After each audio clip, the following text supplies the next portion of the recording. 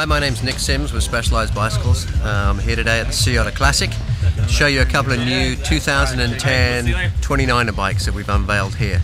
Uh, starting first of all with the new 29er Epic. Um, it's going to be new for 2010, be available in stores in October. A couple of the key things on the Epic is we've we've worked closely with the guys at RockShox to produce a, a really lightweight, extra stiff Reba fork it's a RockShox lower, RockShox internals, but a specialized carbon crown, stanchions, and tapered carbon steerer.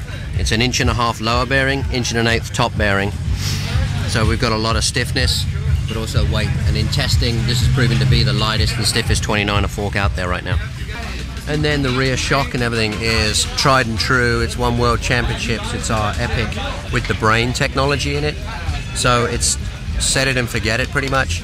Uh, you can tune in the bump sensitivity of the brain so it's hardtail firm for smoother terrain, but you hit bumps and it opens up to give you the full suspension ride.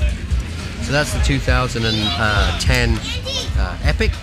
And then also another one that we have is just over here is the uh, the carbon hardtail. Again, this is new for 2010. It'll be in, in stores in October. And same, some of the same features. The, the, the specialized fork combined with the RockShox lowers.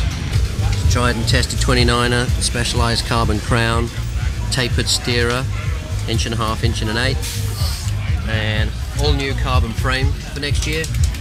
You can see it's a very big down tube, very big chain stays, big bottom bracket area, so it gives you great lateral stiffness. Also, it's one of the shortest wheelbases in a 29, and we've achieved that by curving the seat tube so you can tuck all the wheel in, so you can see you can see there's a slight curve to the seat tube that allows us to push the wheel in. This bike's going to come in, weigh in at around 20 and a half pounds, and the Epic should be around 24 and a half, 25 pounds.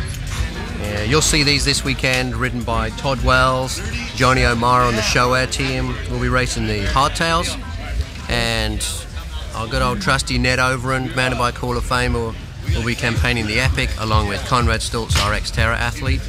Also out there this weekend will be current world champion Christoph Sauser, uh, Burry Stander, new to the team this year, Lene Byberg, and Rebecca Rusch, all representing Specialized out at the Sea Otter. So that's it, a little sneak peek at uh, two 2010 products that uh, come in from Specialized, and uh, hope everyone enjoys the Sea Otter as much as we are. See you next year.